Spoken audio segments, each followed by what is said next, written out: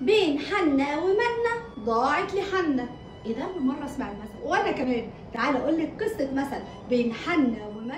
كان بين زمن الأساطير. رجل جميل متجوز اتنين. واحدة منهم عمرها كبير وواحدة منهم سنها صغير وكتكوتة وبتدلعه والراجل ده كان عنده لحية كبيرة. اللحية دي كان فيها شعر أبيض وفيها شعر أسود. امم وبعدين لما كان يروح عند الست الكبيرة في السن أو السيدة الكبيرة في العمر كانت دايما تندف له الشعر الأسود عشان تخليه دايما لحيته لونها أبيض فيبقى كبير زيها.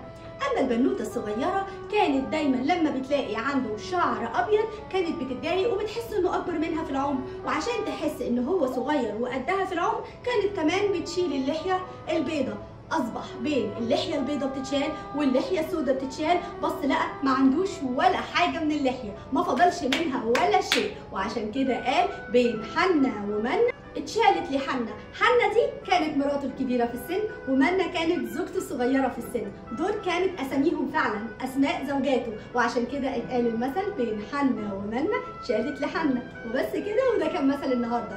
واستنوني في قصة مثل عبرة حكمة في رمضان ورمضان كريم. سلام.